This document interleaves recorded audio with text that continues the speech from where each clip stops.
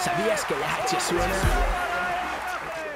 primero felicitar a, Cáceres por la victoria, creo que ha sido un partido, como habíamos hablado nosotros y, también se veía en ellos, con tintes de playoff. Eh, y ha sido una bonita batalla, yo creo que ha sido una bonita batalla de los dos equipos, eh, un partido muy físico, eh, que ha ido por, por, fases, ¿no? Ellos han empezado muy bien desde el acierto, con tres triples muy pronto, de, muchísimo mérito.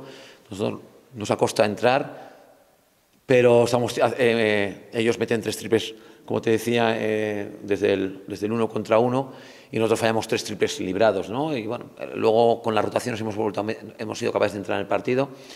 Y, luego, pues yo creo que hasta el final, hasta el cuarto cuarto, eh, ha sido una pelea de, de tú a tú, de dos equipos jugando sus armas, de buenas defensas, de un partido muy agresivo. Y, en el último cuarto, pues eh, hemos estado mal en ataque, no encontrábamos, cuando queríamos poner gente que tuviera capacidad ofensiva, sufríamos atrás, y cuando queríamos poner gente con capacidad defensiva, sufríamos adelante, ¿no? Y es la, famosa eh, teoría de la manta.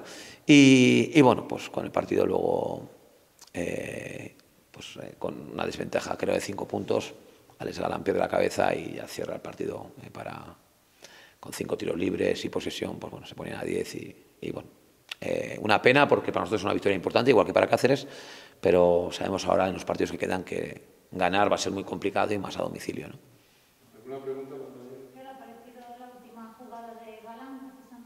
Bueno, pues hay que templar los nervios. Eh, yo creo que ha perdido el control y, no tiene razón. O sea, eso eh, defenderlo es ayudarle poco, ayudar muy poco al jugador.